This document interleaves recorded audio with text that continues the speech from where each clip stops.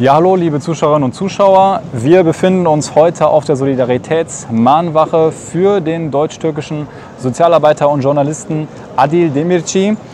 Dieser sitzt nun seit fast sieben Monaten in der Türkei in Haft. Ihm wird vorgeworfen, dass er an drei Beerdigungen für Anti-S-Kämpfer in den Jahren 2013 bis 2015 teilgenommen haben soll. Er war dort als Journalist für die Nachrichtenagentur ETA. Bei einem Urlaub mit seiner Mutter ist er dann festgenommen worden im April diesen Jahres und sitzt seitdem im Hochsicherheitsgefängnis in Silivri. Wir haben heute die Gelegenheit, hier bei der Mahnwache mit seinem Bruder Tama Demirci über Adil zu sprechen. Hallo Tama. Hallo. Tama, wie geht es Adil zurzeit? Ja, Adil geht, ja, wie sagt man es immer, den Umständen, Umständen entsprechend gut. Ähm, er ist halt sehr zuversichtlich. Ähm, äh, es ist mittlerweile nach sieben Monaten spürt man das, äh, spürt man den Alltag im Gefängnis. Ähm, die Tage werden länger. Äh, aber er ist sehr zuversichtlich und äh, versucht immer wieder äh, neue Energie zu schöpfen und neue Kraft zu entwickeln. Den, vor allen Dingen auch ähm, ja, einen Alltag da zu gestalten, was auch gerade auch da die Gefängnisse versucht wird, eben nicht, ähm, ja, wo man versucht wird, eben, dass der Alltag da nicht äh, sein soll, wie man haben möchte und ähm, ja, lässt sich nicht runterkriegen und geht's gut. Okay. Ähm, ihm haben in den ersten Monaten fast keine Briefe erreicht. Wie sieht das jetzt aus? Bekommt er Brief im Gefängnis? Wie sieht es mit Besuchen aus? Konntest du ihn schon besuchen? Wie ist das mit anderen gewesen? Ähm, ja, es ist halt relativ schwierig. Also es war vorher auch so, dass er vor allen Dingen aus Europa keine Briefe erhalten hat. Ähm, aus der Türkei hat er diese erhalten. Das war auch so ein bewusstes Signal auch eigentlich an die deutsche Bundesregierung, äh, vor allen Dingen, ähm, dass deutsche Staatsbürger inhaftiert werden können, aber auch sie isoliert werden können gleichzeitig. Äh, es war halt ein bisschen tragisch, weil eben hunderte Briefe auch von Arbeitskollegen, Freunden, Familien geschickt wurden, die jetzt wahrscheinlich irgendwo in irgendwelchen Kammern liegen werden. Ähm, ja, aber jetzt ist halt so, dass er einige Briefe erhalten hat, ähm, auf jeden Fall, das wissen wir. Er hat auch zurückgeschrieben, aber diese Verzögerung ist halt immer noch da. Das heißt, wenn man durchleuchtet, nachgeschaut, bewusst gehalten, noch zwei, drei Wochen und dann ist es so, dass in der Regel die Briefe so bis vier bis fünf Wochen erst später bei ihm ankommen und wir auch vier bis fünf Wochen später erst die Antwort erhalten. Ähm, ja, genau. Ähm, vor wenigen Wochen wurde eine Unterschriftenliste an das Auswärtige Amt übergeben. Wie sieht die Unterstützung der deutschen Behörden in dem gesamten Zusammenhang aus? Genau, ähm, also wir haben ähm, ja im Rahmen dieser Kampagne wollten wir haben ja Unterschriften gesammelt seit Tag 1, seit der ersten Mahnwache äh, haben wir versucht, die Kölner Öffentlichkeit, die Kölner Bürger dazu zu informieren und vor allen Dingen auch eine praktische Solidarität zu leisten, sich mit ADI zu solidarisieren. Ähm, ja, es war halt, wir haben über 5000 Unterschriften ähm, abgegeben beim Staatsminister Roth, ähm, der auch, ja, auch im Auswärtigen Amt dafür zuständig ist. Ähm, das wurde vom Jürgen H., CDU-Bundestagsabgeordneter und Ausschussprecher für die CDU, initiiert, mhm. äh, der gleichzeitig auch im Wahlkreis Remscheid ist, also ähm, auch sozusagen auch sich eigentlich Tag 1 auch mit AD beschäftigt hat. Ähm, ja, es war halt, wir haben die Unterschriften abgegeben. Also es war nochmal ein Signal an die Bundesregierung, da mehr zu tun. Äh, dass da auch Erwartungen sind, aber es ist äh, zum Teil gerecht worden, zum Teil sehen wir halt, dass die deutsche Bundesregierung da wirklich auch sehr träge ist.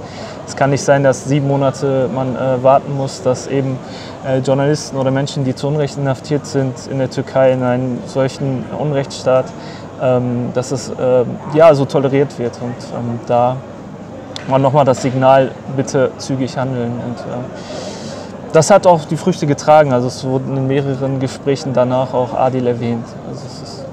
Wie siehst du da gerade das Verhältnis zwischen Deutschland und der Türkei? Also Erdogan war ja hier zum Staatsbesuch. Äh genau, ja. ja. es ist halt kritisch. Genau die Person, die äh, dafür verantwortlich ist, dass unzählige Menschen inhaftiert sind, äh, hier in so einer Form einzuladen. Das ist, äh, äh, finden wir nicht richtig. Ähm, vor allen Dingen gerade in dem Punkt, ähm, ja, dass darüber hinaus vielleicht irgendwelche Absprachen getroffen werden, vielleicht irgendwelche Deals gemacht werden und keine Ahnung was in der Form. Also sehen wir die Annäherung oder diese Normalisierung dieser Beziehung eigentlich gar nicht richtig, also als persönlich auch, ähm, ja, also kein richtiger Schritt. Genau. Alles klar, wie äh, kann man, vielleicht als letzte Frage, wie kann man Adil äh, und äh, seine Familie, dich, euch, die Solidaritätskampagne am besten unterstützen? Ja, vor allen Dingen, also es ist ja nicht nur Adi, der inhaftiert ist in der Türkei, ähm, es sind halt unzählige Journalisten inhaftiert. Es ist halt wichtig, ähm, ja, dass auch sich für das Thema zu sensibilisieren, dass äh, eben unzählige Menschen inhaftiert sind. Ähm, hier vielleicht an der Mahnwache teilzunehmen, vielleicht auch Unterschriften äh, zu sammeln.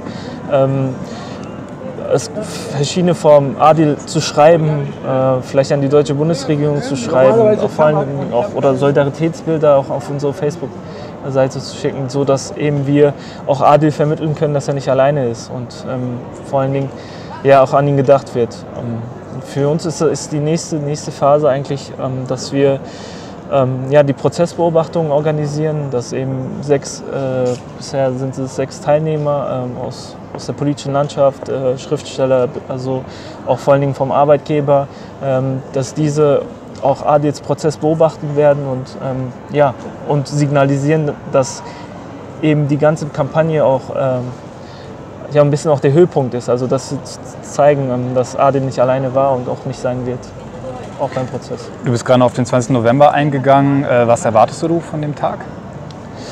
Ja, es ist schwierig, weil ähm, wir davon ausgehen eigentlich, also wenn, wenn man die, die Türkei an sich sieht, dann sieht man, dass eben äh, tagtäglich Menschen inhaftiert werden. Also tagtäglich Akademiker, Oppositionelle, ähm, dass die Situation gar nicht so äh, sich verbessert hat nach der Entlassung von Mechale Tole, sondern eben gar keine realen Veränderungen vorhanden sind. Und ähm, das signalisiert an uns natürlich, dass wir nicht so viele Erwartungen haben sollen, aber gleichzeitig wissen wir, dass Adil eben unschuldig ist und wie auch die Anklageschrift gesehen haben, dass eben diese auch beweist, dass Adil unschuldig ist. Also es sind halt nur diese äh, drei äh, Beerdigungen aufgelistet äh, und es ist, ähm, nicht also es ist auch nicht verboten, an Beerdigungen teilzunehmen. Und es ist, ähm, ja, also wir, wir hoffen, wir haben mit den Anwälten Kontakt, dass ähm, Adil freigelassen wird. Also wenn es rechtsstaatlich wäre, würde Adi freigelassen werden.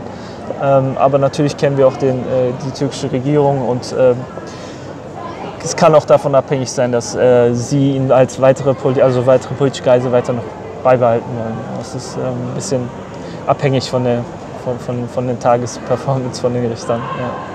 Und natürlich auch vom Protest, der stattfindet hier bei der Solidaritätsmannwache für Adil. Vielen genau. Dank für das Interview. Ja, ich danke auch. Und äh, wir werden die Informationen zu Adil, die Website und so weiter verlinken. In diesem Sinne bis zum nächsten Mal.